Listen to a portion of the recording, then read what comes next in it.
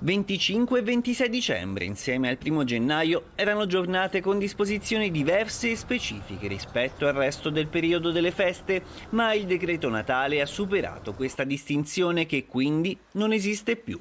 È una delle risposte alle domande frequenti, le cosiddette FAC, pubblicate sul sito del governo. Ribadito il divieto di spostamento tra regioni diverse fino al 6 gennaio, a meno che non sussistano motivi di salute, lavoro o necessità o per tornare alla propria abitazione, residenza o domicilio. Dunque nessuna visita a parenti o amici fuori regione? Sì, invece, se non si varcano i confini regionali, purché si sia al massimo in due più figli fino a 14 anni di età ed eventuali disabili conviventi. Attenzione, tale possibilità viene offerta sia nei 10 giorni festivi e prefestivi, cosiddetti giorni rossi, sia nei 4 feriali, cosiddetti arancioni.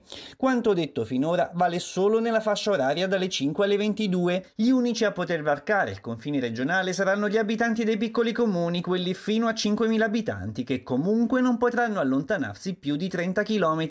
Oltre ad essi potranno varcare confini regionali, genitori separati o affidatari per poter raggiungere i figli minorenni. Infine il tema delle seconde case, non raggiungibili quelle fuori regione e in caso di cointestazione a più nuclei familiari, solo uno ci si potrà recare.